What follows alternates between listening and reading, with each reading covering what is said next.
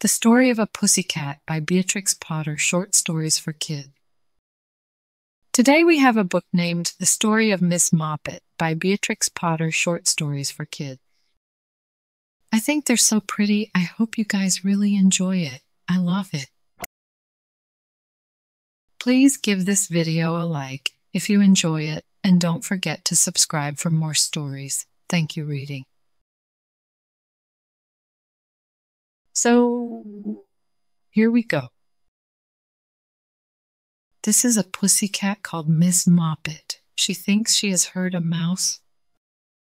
This is the mouse peeping out behind the cupboard and making fun of Miss Moppet.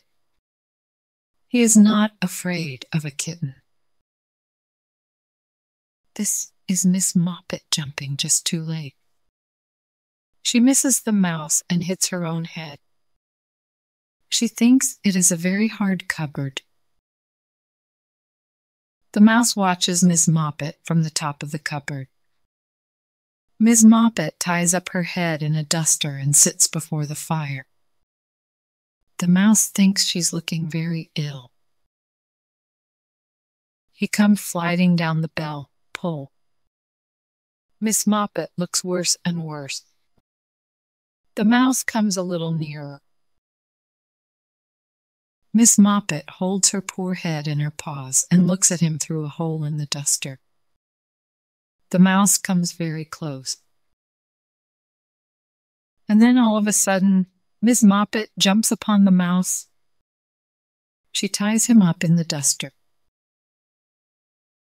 And because the mouse has teased Miss Moppet, Miss Moppet thinks she will tease the mouse, which is not at all nice of Miss Moppet. She ties him up in the duster and tosses it about like a ball. But she forgot about that hole in the duster. And when she untied it, there was no mouse. He has wriggled out and run away. And he is dancing a jig on the top of the cupboard. The end. Good job, friends. Thank you so much for reading with me. Bye. I'll see you next time.